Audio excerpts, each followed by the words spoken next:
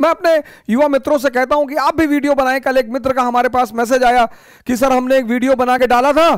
कुछ लोग मेरी वीडियो पे गाली लिख रहे थे कि बेवकूफ़ कहीं के और उत्साह से कोई बचा है जीवन में। तो मैंने उनसे कहा, मित्र, अगर तुम्हारी बात को मैं मान लू तो मुझे तो कभी वीडियो नहीं बनाना चाहिए। मैंने कहा, मान लो तुम्हारे घर में बच्चा पैदा हुआ तो कौन आएगा?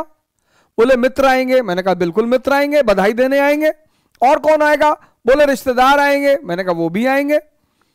और कौन आएगा? पड़ोसी आएँगे। मैंने कहा, बिल्कुल बधाई देने आएँगे। और कौन आएगा?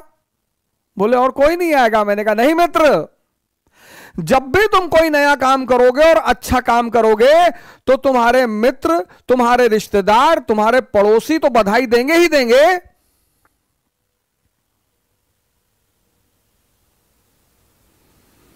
हिजड़े भी बधाई देने आएँगे, सर।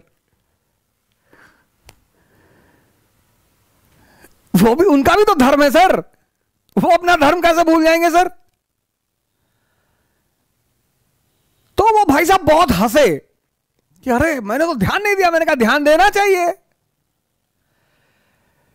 जब भी तुम कोई अच्छा काम करोगे, कोई अच्छी चीज़ तुम्हारे साथ घटित होगी, शादी होगी, लोग बधाई देने आएँगे, रिश्तेदार आएँगे मित्र आएँगे, पड़ोसी आएँगे हिजड़े भी आएँगे, सर।